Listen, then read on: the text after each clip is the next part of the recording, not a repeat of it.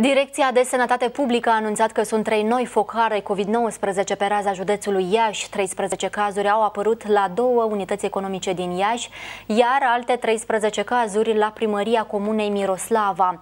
Salariații de la cele două unități economice din Iași sunt izolați la domiciliu.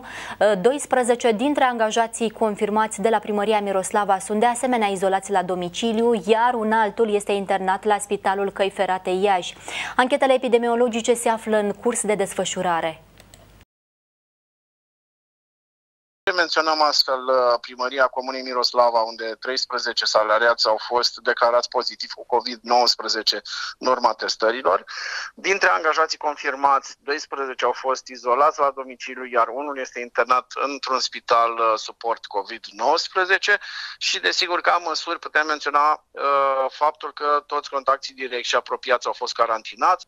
Mai putem vorbi de două focare la doi agenți economici din Iași, cu 5 respectiv 8 cazuri de coronavirus coronavirus la salariați declarați pozitiv cu COVID-19 tot în urma testărilor și vorbind tot despre măsuri, faptul că uh, menționăm faptul că angajații confirmați au fost izolați la domiciliu, iar contactii direct și apropiați au fost carantinați.